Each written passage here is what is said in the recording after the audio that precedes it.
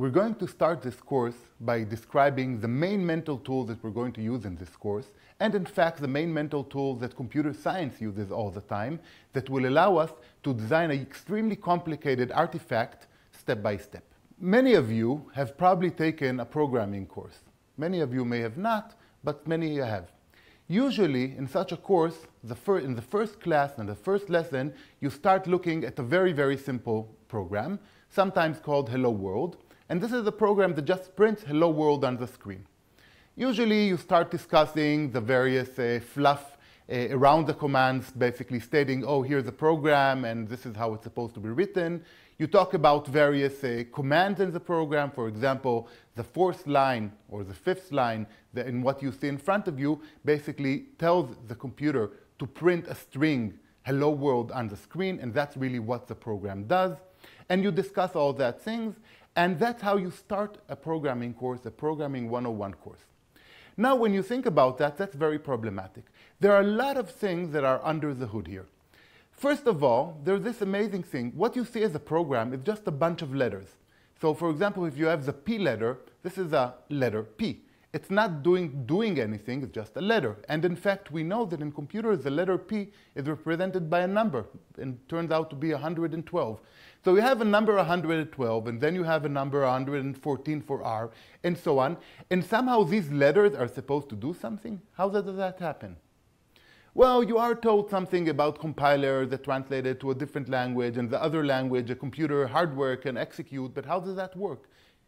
How, how does it even work? All that is swept under the rug when you start introduction to computer science or to programming. Similarly, if you look at even the simplest program, the simplest command, for example, print hello world, how are you supposed to do that? Printing hello world on the screen actually involves setting a bunch of pixels on your screen to be more lighter or darker. And it's a lot of pixels, and you have to, to actually put the pixels that are lighter in a very special order to somehow represent the letter H and then the letter E. How is that, how does all that happen? That's an extremely complicated thing, and yet you just use it. That is also swept under the rug.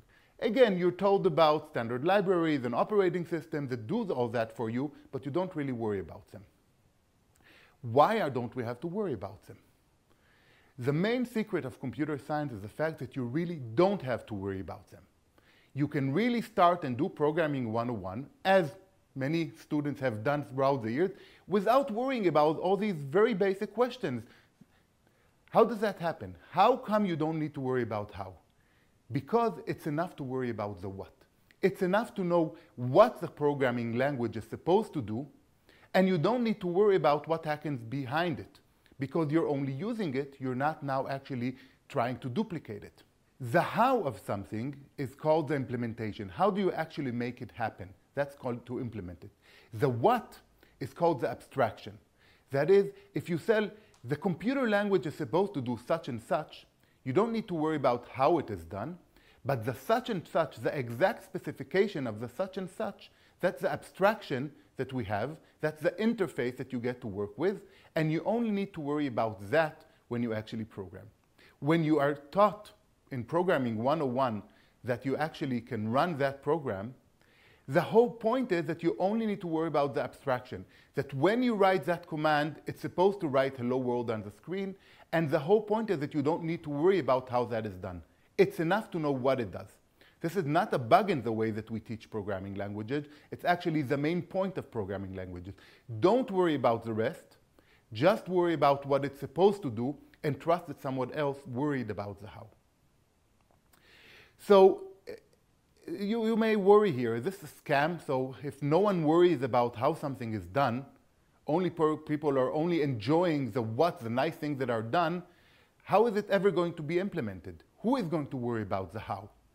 Well, it could be someone else, which is always nice to know that someone else can do that. It could be you, later or earlier. If it's later, you don't need to worry about it now, which is very nice because now you can focus on the task at hand, which is using the programming language. Even if it was you earlier, that you already implemented the programming language in the past, this allows you to forget. It allows you to forget all the details, all the work that you put into actually implementing it, and just remember what is the thing that you did. So it's an extremely important thing, and that's the most, most potent tool of computer science that once we can separate concerns, when we can separate, we can forget a lot of details about implementation and only remember a very clean what, a very clean interface, a very clean description of what is done there, then you get this mental uh, saving of not having to have everything in your mind in the same time. You can repeat that many times and many different multiple layers of abstraction, one above the other. So for example, suppose we have already built the blue stage box. We can forget its implementation, worry only about its interface when we try to implement a green box above it. Once we've finished with the green box, we can again, we can forget its implementation, worry about only the interface when we implement the yellow, the orange box above it. When we finish that, we can forget again the implementation when we try to implement a purple box above the interface of the orange box. This way, we have multiple stages, each one of them very simple, and yet at the end we get a fantastically complex artifact composed of many simple stages. This is exactly what we'll do in this course. Here is a high-level description of the different abstraction layers we have in this course. We start with very basic, simple uh, gates. We build more complicated chips from them, and from them we build even higher, more complicated chips like a CPU, and then we put them into a computer, and that continues as a software layer that we'll cover in part two of the course, where we build more and more complex arti software artifacts above these hardware artifacts. Every week, we will worry about a single level of abstraction. We take the lower level as given. We only remember what it does. We forget what it, how we did it. We implement the higher level of abstraction, the next level of abstraction. We test that it works. And then, presto, we finish the week. We can move to the next week where we already know that this level works very well. So the lower level uh, we can take as given in the next week because we just finished implementing it. The next level, we are going to actually guide you, give you very explicit guidance how you're going to implement the next level of abstraction, given the fact that you have already have the previous one. And then we also give you a testing suite that allows you to really test that what you did this week works so that you can be sure that next week everything will keep on functioning. So by the end of the course, what have we achieved? By the end of the course, after a few weeks of actually uh, every week building upon the previous layer, we get a complete functioning computer. A computer that starts with very basic building blocks called NAND gates, which are very, very simple logic gates, and ending with a computer that can run almost any program, for example, the Tetris that gives this course its name. In the process of doing it, you've gained a lot of very important computer science tools. First of all, you gain the experience of working with abstractions, You've gained an experience of working with the main working horse of computer science at every point in time, forgetting about what you don't need to remember about the how, and working about the next level of abstraction. This is the main thing we always do as programmers, and you've experienced it. You also, by the way, once you did all these different steps, you learned at every step what you need. And the different steps in building a computer are the real, are the interesting pieces of information you need to know, you need to understand in order to understand how a computer is actually constructed. And the end of the day, you sort of now have a complete understanding. You have built a complete functioning computer, you understand all the levels, so finally, the myth of how a computer works is no longer mystical. You understand it. All this accomplishment is going to, be, is going to happen in 14 weeks, uh, and in two parts.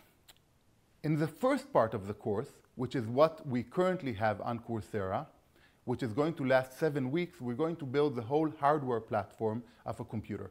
We're going to start with a very simple logic NAND gate, and we're going to create a computer that can run assembly machine programs.